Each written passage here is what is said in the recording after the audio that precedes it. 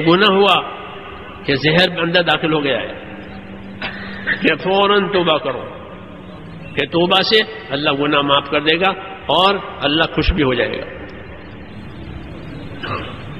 और हुक्म आया अल्लाह के मानने का एतात करने का कि फ़ौरन उसकी तरफ़ जल्दी करो।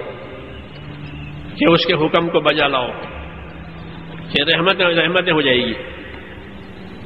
तो रहमत का उम्मीदवार होना और अल्लाह के अजाब से डरना। और तीसरी बात कि तीसरी बात, अल्लाह से मोहब्बत का होना। कि अल्लाह से मोहब्बत हो जावे। अल्लाह से मोहब्बत नहीं है। क्यों? कि दुनिया की चीज़ों की मोहब्बत दिल में घुसी हुई है। ख्वाहिशों की मोहब्बत घुसी हुई है। अपनी मनचाही की मोहब्बत घुसी हुई है। इसलिए हुक्म इसलिए अल्लाह से मोहब्बत नहीं है। जब अल्लाह से मोहब्बत नहीं होगी तो अल्लाह की बात भी नहीं मानेगा। बीवी बच्चों से मोहब्बत होती है तो बीवी बच्चों की बात मानी जाती है। उनके तकाजे पूरे किए जाते हैं। हाँ उनको राहत पहुंचाई जाती है, उनको खुश किया जाता है बीवी बच्चों को। क्यों? उनसे मोहब्बत है, उनसे ताल्लुक है। तो ईमान में ये दोस्तों शामिल है। खौफ अल्लाह का आवे, रहमत की उम्मीद अल्लाह से आवे, मोहब्बत अल्लाह ताला से हो। वल्लदीन आमनु अशद हब्बल्ला ये है वल्लदीन आमनु अशद हब्बल्ला कि जो ईमान वाले हैं, वो तो अल्लाह की मोहब्बत में बहुत तेज हैं, ये कहा। ये जो ईमान वाले हैं, कि वो तो अल्लाह की मोहब्बत में बहुत तेज हैं। उनको सबसे ज़्यादा अपने अल्लाह से मोहब्बत है। क्योंकि अल्लाह से जो मोहब्बत होगी, वो टूटेगी नहीं।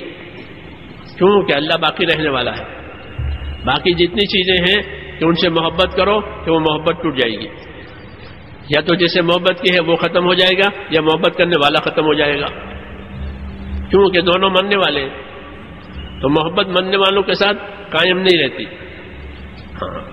इश्कबा मुर्दा नबासत पाएदार ये कहा कि इश्क और मोहब्बत मुर्दों के साथ बाकी नहीं रहता।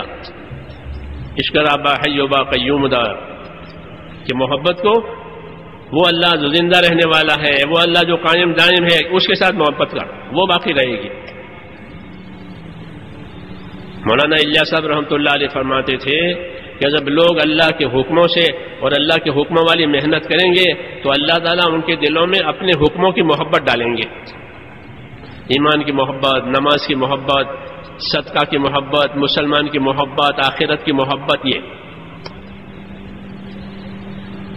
ये फरमाया कि जब लोग अल्लाह के दीन की मेहनत करेंगे तो उनके दिलों में अल्लाह अपने हुक्मों की मोहब्बत डालेंगे।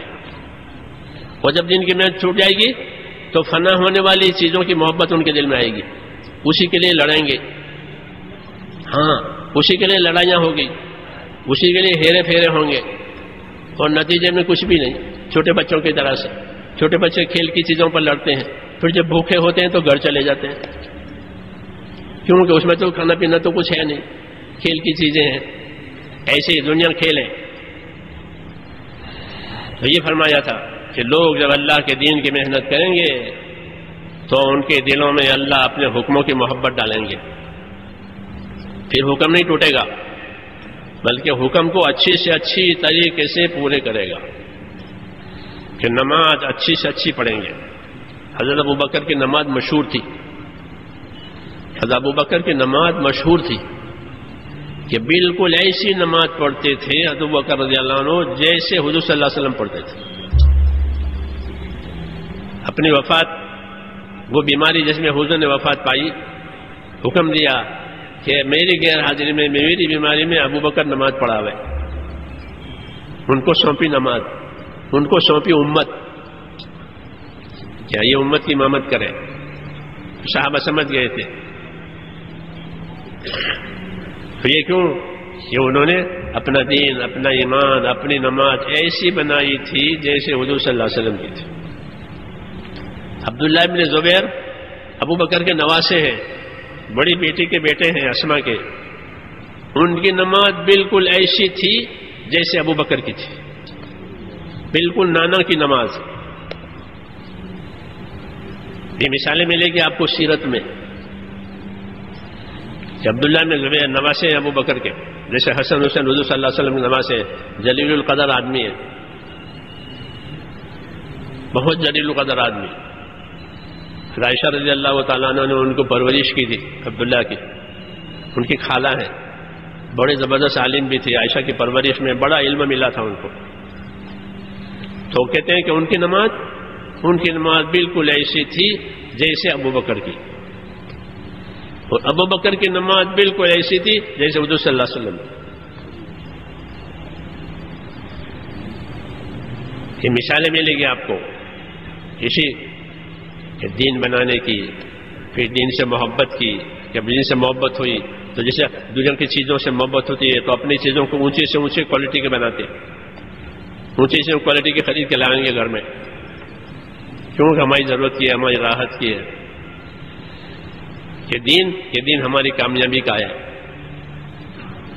कामयाबी के लिए है कि फिर दीन ये दीन की शक्ल अच्छी से अच्छी बनाओ। वाहसिनु इन अल्लाह युहिब्बुल महसिन वाहसिनु इन अल्लाह युहिब्बुल महसिन हज़रत थानवी रहमत ने बयानुल कुरान में इसका तर्जुमा किया है। वाहसिनु इन अल्लाह युहिब्बुल महसिन अच्छी तरह से काम करो, अल्लाह ताला अच्छी तरह से काम करने वालों से मोहब्बत करते हैं। ये दावत है। ये दावत है कि वाहसिनु इन अल्लाह युहिब्बुल मोहसिन अच्छी तरह से काम करो कि अल्लाह ताला अच्छी तरह से काम करने वालों से मोहब्बत करते हैं। कितनी बड़ी बात है। आसमानों से ये बात हमको कही गई है कि वह सिनो इन अल्लाह युहिब्बुल मोहसिन इसलिए दीन का काम सर से उतरता नहीं करना है। सर से उतरता नहीं करना है। क्यों? कि जो अमल करेगा, वो नतीजा उसके सामने आएगा।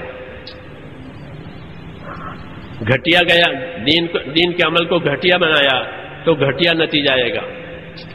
और दीन के अमल को बढ़िया बनाया है तो बढ़िया नतीजा आएगा।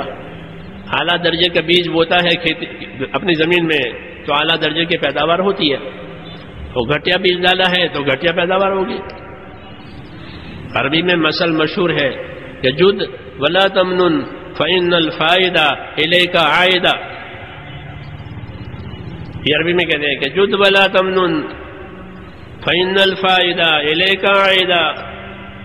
कि अच्छी तरह कर तू किसी पर एहसान नहीं कर रहा है तेरा काम का फ़ायदा तेरे पास ही आएगा। किस पर एहसान कर रहा है? कोई एहसान नहीं किसी, किसी पर एहसान तू नहीं कर रहा है। अपने लिए कर रहा है। इसलिए कहा कि जुद वला तमनुन फ़ैन फ़ायदा इले का आयदा। अच्छी तरह कर। कोई एहसान नहीं कर रहा है तो किसी पर। फ़ायदा तेरी ही तरफ़ आ रहा है।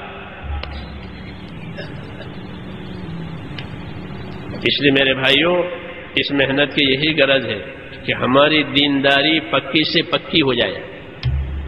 हाँ। पक्की से पक्की दीनदारी। हम अपने दीन में पक्के हो जाए बिल्कुल। और पक्के होने का मतलब यह है कि दुनिया का कोई लालच हमारे कदम हटने न दे। आदमी लालच की वजह से फंस जाता है।